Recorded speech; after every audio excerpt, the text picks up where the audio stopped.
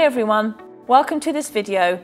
The purpose of this video is to show you how I create a medical illustration using both traditional techniques and combining them with a digital media.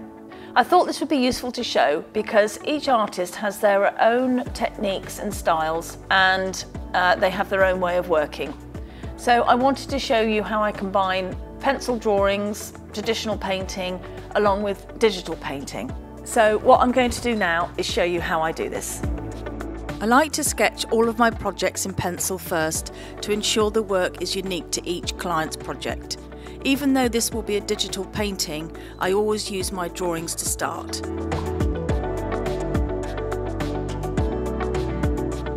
The drawings are scanned and saved as a JPEG file.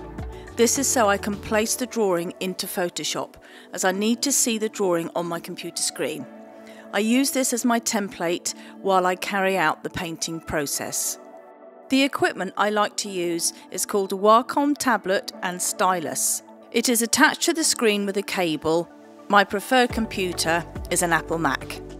The Wacom tablet is used instead of traditional paper, pencils and paintbrushes because it allows me as the artist to work directly onto the computer screen. Adobe have created a creative suite of painting tools that has brought desktop publishing software to the home office. The graphic software that I like to use is mainly Adobe Photoshop and Illustrator. The clever people at Adobe have created a pen that will also work as a paintbrush, a pencil, at different widths, in colours. In fact, there is an endless variety of options that I as an artist can use.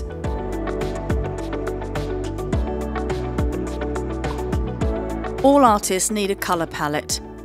With this palette, you have unlimited colours.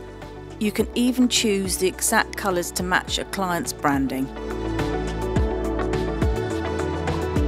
The completed illustration can now be labelled for a client and then once it's ready it can be sent as a JPEG or a TIFF file for use in a client's print media, for online news, video or animation.